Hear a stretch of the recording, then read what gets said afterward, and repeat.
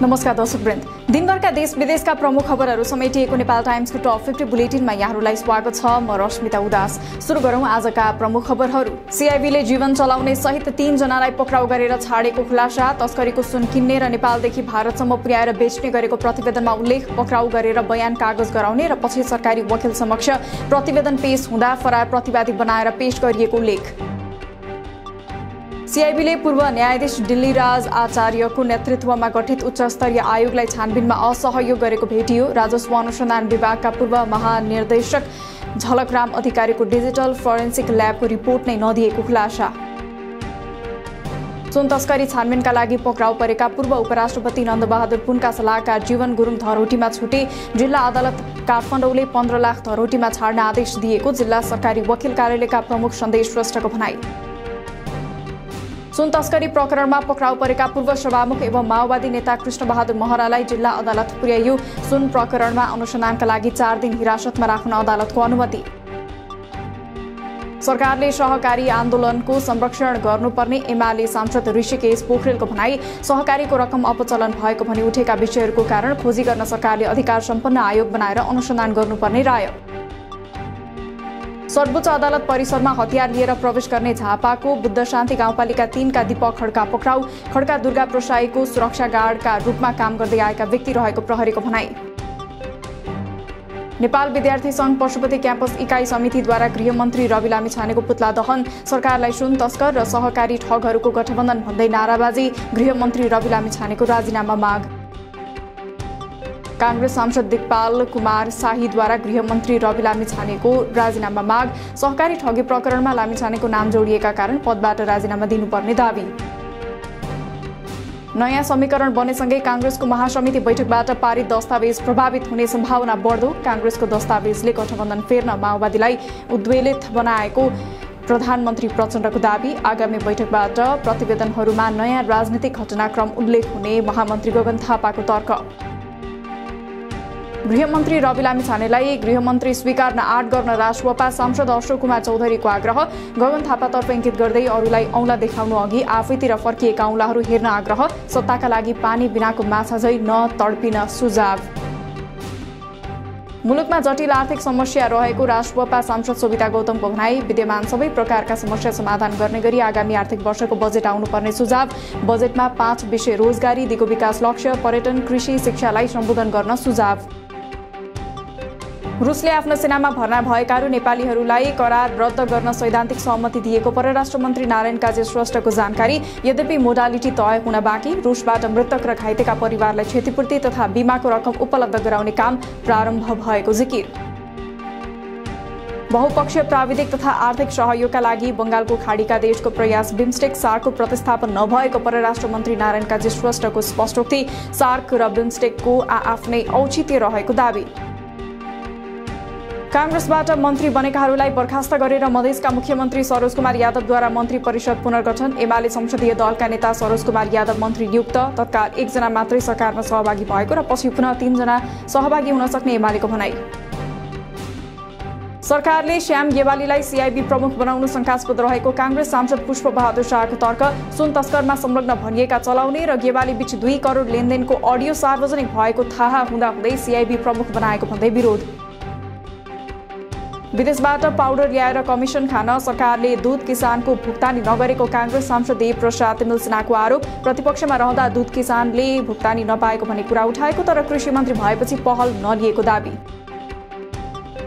गण्डकी प्रदेशको मन्त्री परिषद विस्तार स्वतन्त्र सांसद राजीव गुरुङ उर्फ दीपक मनाङ्गेलाई भौतिक पूर्वाधार मन्त्रालयको जिम्मा सामाजिक विकास तथा स्वास्थ्य मन्त्रालयको जिम्मेवारी कृषि मन्त्री महेन्द्र ध्वज जीसीलाई आजै शपथ।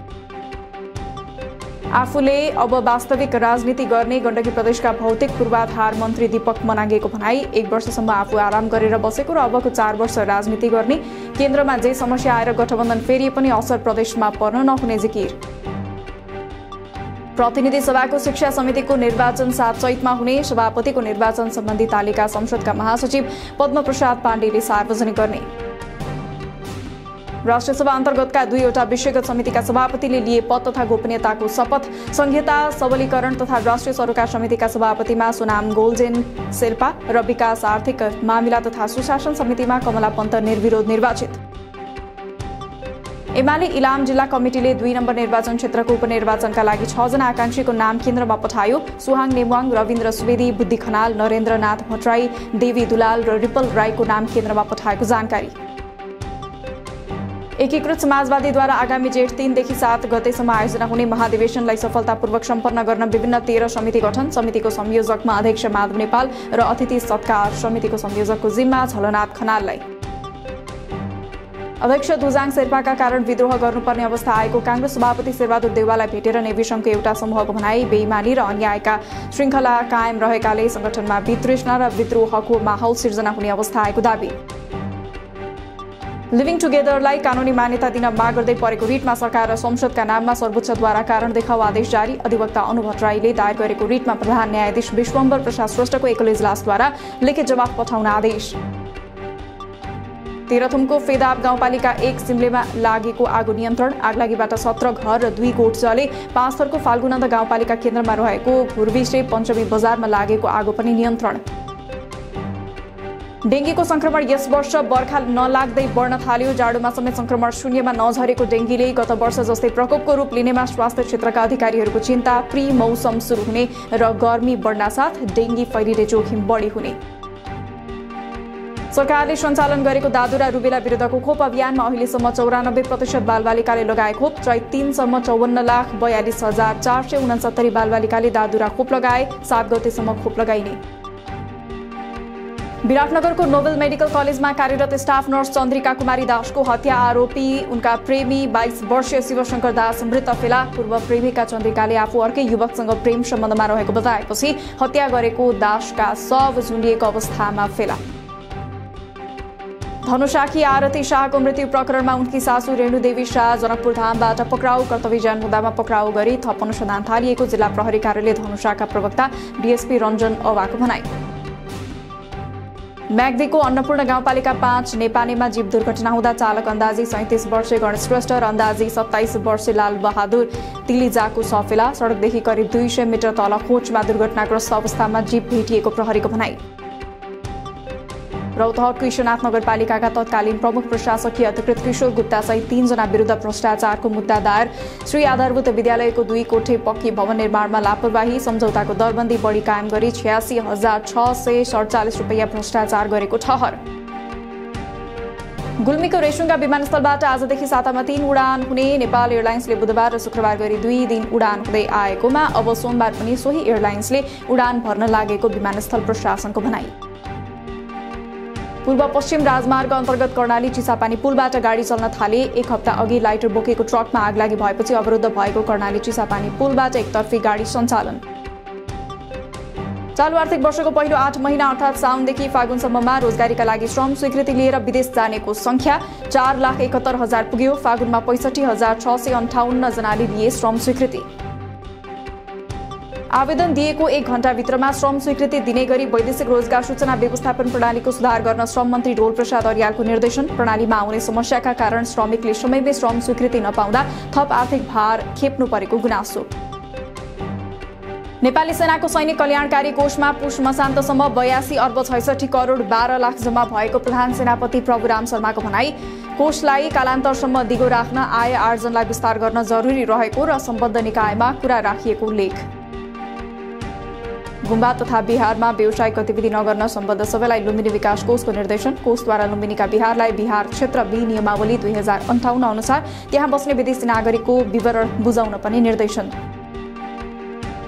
अर्घाखाँचीमा पाँच हजार अठासीजना भूमिहीन दलित भूमिहीन सुकुम्बासी र अव्यवस्थित बसोबास गर्ने रहेको तथ्य सार्वजनिक वन ऐन बाजिएपछि भूमिहीन दलित भूमिहीन सुकुम्बासी र अव्यवस्थित बसोबासीले जग्गा पाउन सकेनन्। सहकारी संस्थाहरूबाट लिएको ऋण समयमै तिर्न काठमाडौँ महानगरपालिकाको आग्रह। ऋणीहरूले समयमा साउ तथा ब्याज भुक्तानी गर्न बहानाबाजी गरेको र केहीले ऋण तिर्न नपर्ने जस्ता भ्रम फैलाएको भन्दै समयमै ऋण चुक्ता गर्न अनुरोध। राष्ट्रपा सभापतिले गृह मन्त्रालयको जिम्मेवारी सम्हालेपछि सीमानाकामा परिवर्तन देखियो। विराटनगरको सीमावर्ती भारतीय बजार जोगबनीबाट कुनै पनि सामान ल्याउँदा अनिवार्य भन्सार तिर्नुपर्ने नियम लागू। किनमेल गर्न पुगेकाहरू सीमानाकाबाट फर्किए। छापा सुनको भाव आज तोलामा पाँच सय रुपियाँले घटेर प्रति तोला एक लाख चौबिस हजार पाँच सय रुपियाँ कायम। चाँदीको मूल्य पनि तोलामा दस रुपियाँले घटेर प्रति तोला पन्ध्र सय बिस रुपियाँमा कारोबार। अघिल्ला तीन कारोबार दिनसम्म लगातार झरेको सेयर बजार सोमबार भने अन्तिम समयमा बढेर बन्द। नेप्से दुई हजार त्रिहत्तर अङ्कमा बन्द। आजै कारोबार रकम दुई अर्ब अठासी करोडमा खुम्चियो। आयरल्यान्ड ए विरुद्धको सिरिजका लागि क्यानले नेपाल ए को प्रारम्भिक टिममा चालिस खेलाडीलाई बोलायो। नेपाल ए र आयरल्यान्ड बीच तीन खेलको एक दिवसीय र तीन खेलको टी ट्वेन्टी सिरिज अघि चैत बाह्र र तेह्र गते आयरल्यान्डसँग टी ट्वेन्टी खेल्ने। भारतको नयाँ दिल्लीमा गैराती भएको वुमेन्स प्रिमियर लिगको फाइनलमा सहभागी भएका आइसिसी अध्यक्ष बार्कले काठमाडौँ आइपुगे।